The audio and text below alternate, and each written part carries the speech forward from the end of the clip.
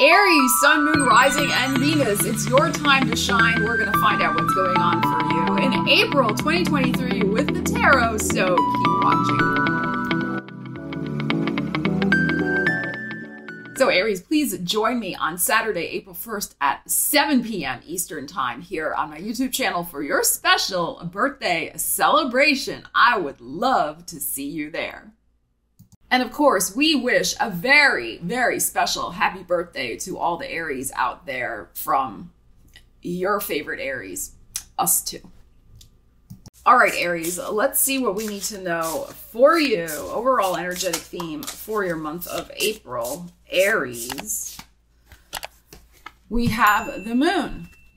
Number 21, pay attention to your intuition at this time and move ahead confidently. Interesting because we have a new moon solar eclipse on the 20th in your sign. So, and we have the 21 showing up here. So that may be important. But also, I mean, it could be the full moon uh, in Libra on the 6th where you're going to want to pay attention to your intuition. All right, so let's see what you need to know about that. Aries. Aries need to know. Pay attention to your intuition. Move ahead confidently. What do we need to know? We have a Ten of Cups, the Magician, and the Knight of Swords. Okay, so I think that it is very possible that some sort of fast moving idea comes to you about your own personal happiness. This could be something related to your family. This could be related. I mean, the 10 for me is like just the ultimate personal happiness. So, and the the manifesting energy is in the middle here. So, take action quickly on whatever this intuitive hit is for you related to your personal happiness. All right, it's going to come in fast, Knight of Swords. Uh, you might need to write it down quickly as well.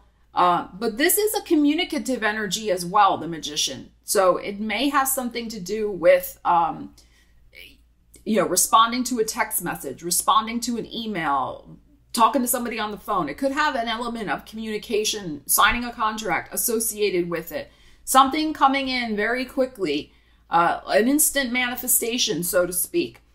Uh, be, be very, very mindful of especially the words you're speaking, the words you're choosing in the month ahead. You're very, you're a very powerful manifester in the month ahead. But this is definitely not waiting around either to take action on your intuitive hit. As it says here, move ahead confidently.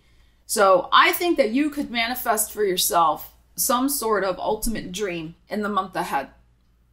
You're gonna get the you're gonna get that intuitive hit, insight, whatever that you're gonna be able to respond to that knowledge, to that intuition, to that communication very fast. There's something about speed here that is the key okay, with this. So, also, I just feel like you know what you want. Your mind is made up. Like, this is not a question for you. What's going to bring you that happiness? Like, you do know. So, if you don't know, figure it out now before this this rocks and rolls in. The 10th may be important, um, but also it could have something to do with uh, that full moon, which is happening on the 6th. We got the 10th here. So, you know, work with the timings and let's see what manifests for you. I mean, also the 21st, uh, which is that new moon solar eclipse, but then the next day Mercury is is retrograde.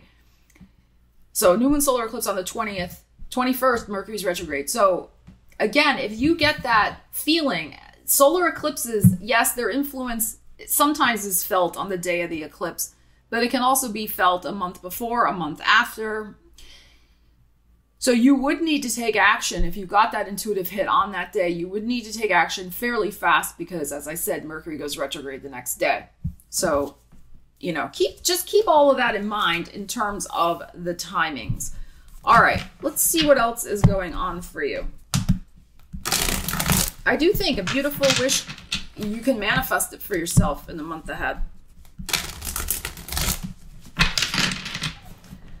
All right, let's see. And I would also say, because the magician is coming out, um, it is important for you to wear red in the month ahead, in your in your season. That is your color. Aries. Uh, whether it's red lipstick, red nail polish, or red shirt, whatever.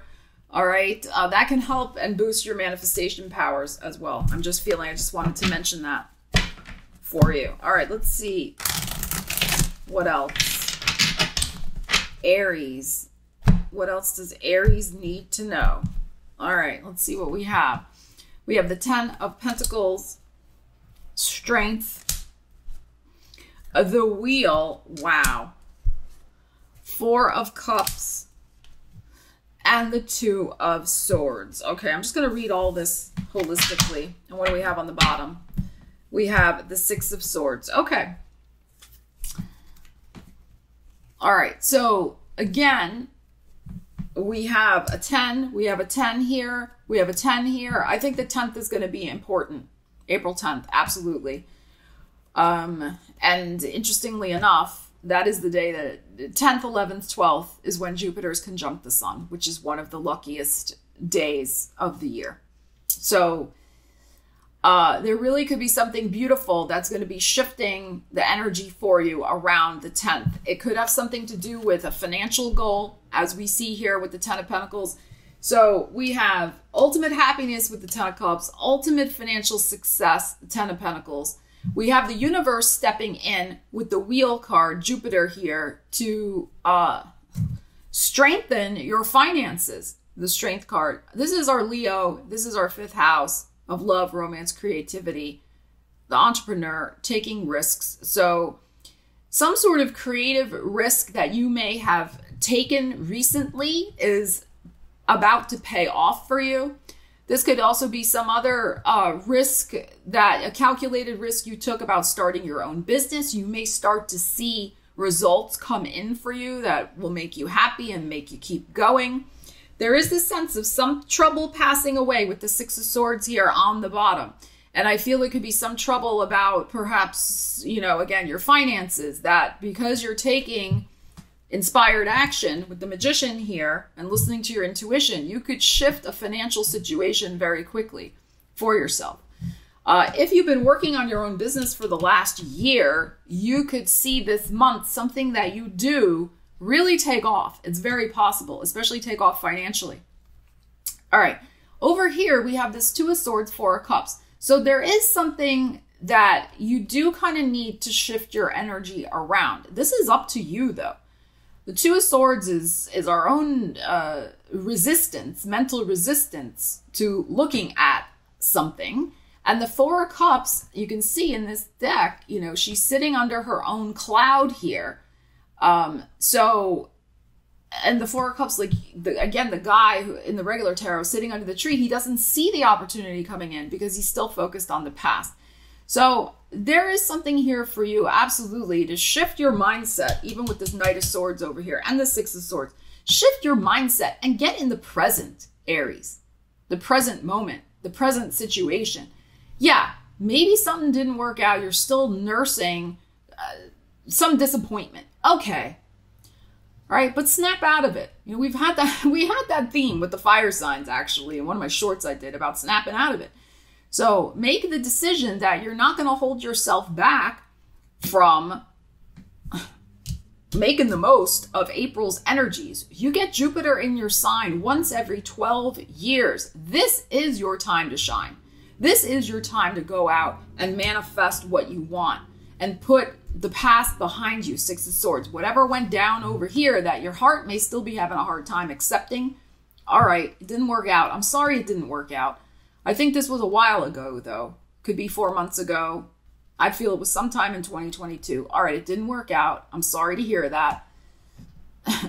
okay, but choose your happiness, right? It wants to come on in. Look at this. Choose this for yourself. All right, use your intuition and move ahead confidently. Snap out of this inertia. I mean, both of these energies are stuck. Two of Swords just sitting there, Four of Cups just sitting there and not taking action. Right? So it is time to align yourself with the wheel, move forward confidently, and move towards your heart's desires. That's the other thing with this Leo So I just feel like you're in a very powerful position this month. Like this guy sitting on top of this log, you are in a very powerful position to manifest a very, I think, two important dreams something to do with personal happiness and something to do with your financial stability. So get to it. Okay, that's what I feel. Leave it behind. It's the mental, this is the mental situation that's got to shift. This and this. You guys just got to make up your mind. I'm leaving that past behind because it has been holding me back from manifesting a better future for me.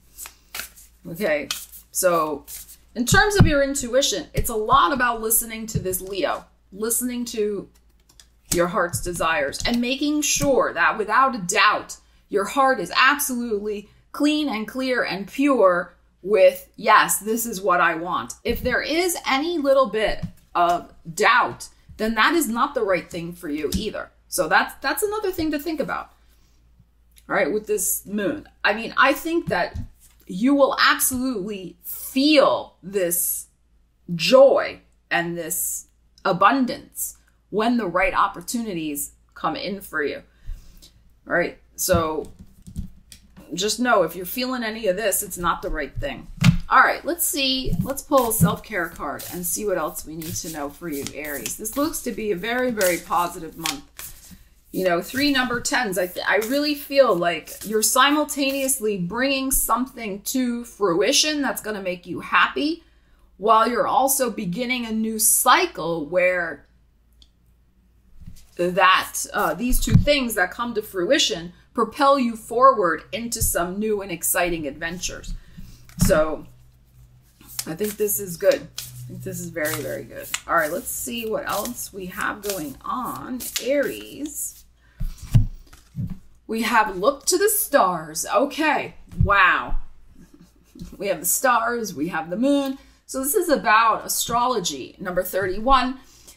Uh, so I think it's it's maybe a good idea, maybe a good idea to see how the astrology in April is affecting your natal chart. Maybe get a solar return chart done with me, or book a book a soul session with me, or uh, you know really set some powerful intentions for yourself at the new moon solar eclipse. That's big astrology that's happening on the twentieth that's a that's an insanely powerful eclipse of new beginnings at 29 degrees Aries.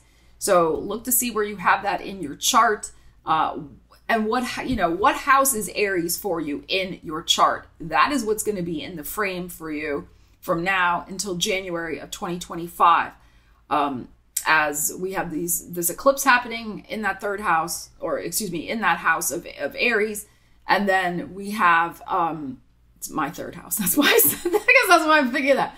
And then we have, um, and then we have, of course, the North Node going into Aries. So you're going to want to look at your chart and see where that is happening for you because it is going to be very much about new beginnings for you uh, going forward this year, next year, and January of 2025.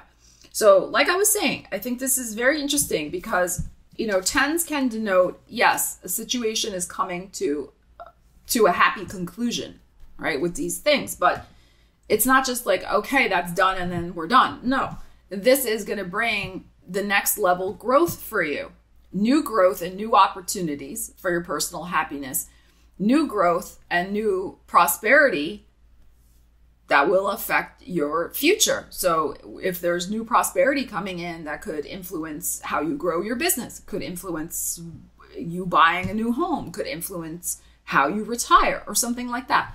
Okay, so it's like this is not the end. This is just the beginning for many Aries people. Okay, with the magician here also. All right, so see what's going on with your personal astrology. All right, and also highly recommend getting my year ahead astrology book. that may be helpful also. Link is in the description. I do break it out um, by all the signs, and there's profitable and prosperous lucky days in the back of the book for all signs for every month as well.